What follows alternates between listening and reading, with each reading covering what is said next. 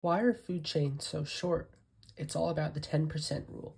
So the 10% rule is a rule in AP environmental science. Um, it can also be maybe in biology class.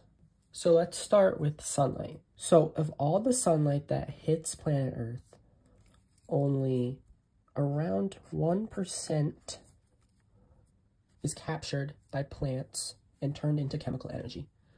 So only 1% of all sunlight hitting Earth is used by producers, which is at the bottom of an energy pyramid. Now let's look at these arrows for a second.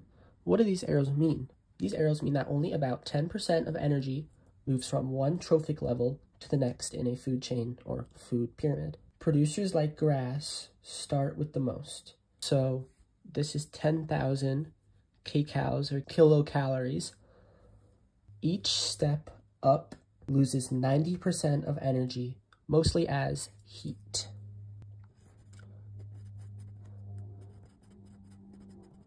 Now you need to know that it's lost by heat. It's very important.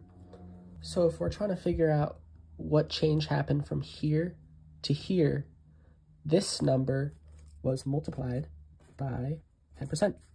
This number was multiplied by 10% or 0 0.1. This number to get here was multiplied by 0.1 or 10%. That's why top predators like snakes are rare. There's just not enough energy left. Like, there couldn't be a level higher than this because then it would only be one kilocalorie, which is like nothing.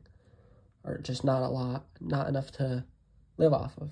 So that is the 10% rule. Um, definitely need to know it for the AP Environmental Science exam, which is coming up next month. I hope this video helped and you learned something. Thanks for watching. Bye.